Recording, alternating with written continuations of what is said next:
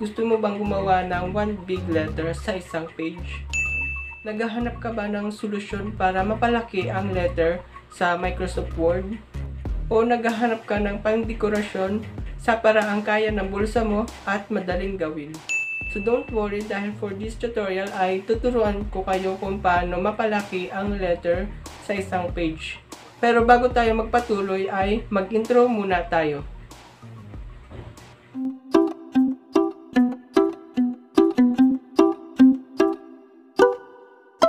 Paper Blink Colors.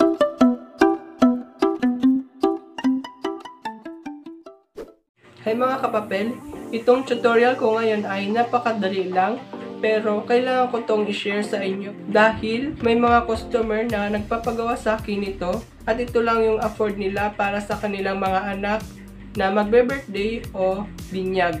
At kung isa ka sa katulad ko na pang basic lang yung ma-offer muna sa ngayon ay bigyan pa rin natin sila na magandang serbisyo para balik-balikan nila tayo. Bago pala tayo mag-start sa ating tutorial ay huwag mo naman kalimutan na i-like itong video at subscribe mo na rin ang aking YouTube channel at i-click mo na rin yung notification bell sa baba para updated ka sa mga videos na i-upload ko. So, proceed na tayo sa ating monitor. First, click natin tong Microsoft Word. Click blank document. So, dito, magta-type tayo ng kahit na anong letter. For example, letter A. Papalakihin natin siya. Click natin tong increase font size ay pa-zoom out muna natin siya para makita natin yung buong page.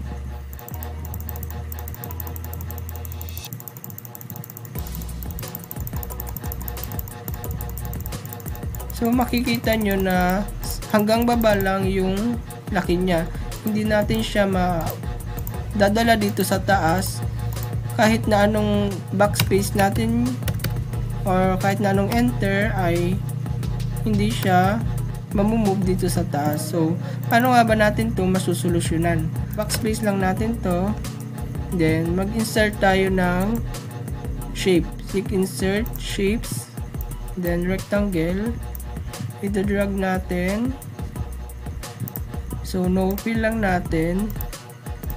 Shape outline is black. Right-click natin tong box na ginawa natin.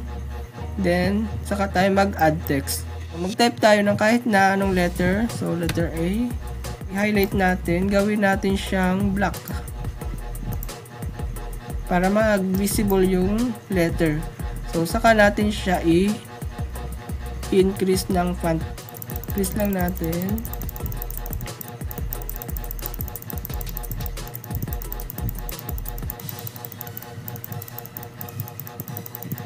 So, makikita nyo na hanggang baba lang din siya lumaki. So, ang purpose nitong box na ito ay para ma-move natin at mai-adjust natin sa taas. I-adjust lang natin siya pataas.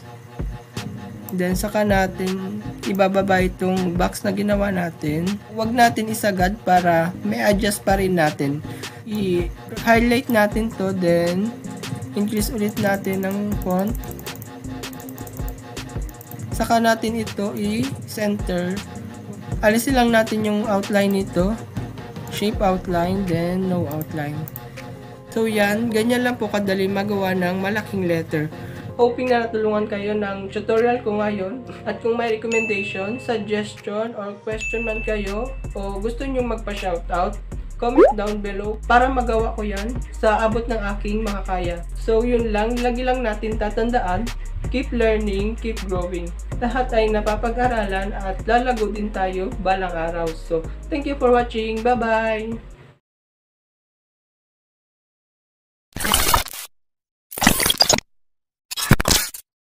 Naghahanap ka ba ng solusyon para mapalaki ang isang letter sa isang mic? So don't worry dahil for this tutorial ay tuturuan ko kayo kung paano gumawa ng ay pero bago pero bago tayo magpatuloy ay mag-intro muna tayo. Pero kailangan ko tong i-share sa inyo para dahil may mga para bumalik pa rin sila At click mo na rin yung notification at click mo na rin yung not- notif- at click mo na rin yung notification bell sa baba para updated ka sa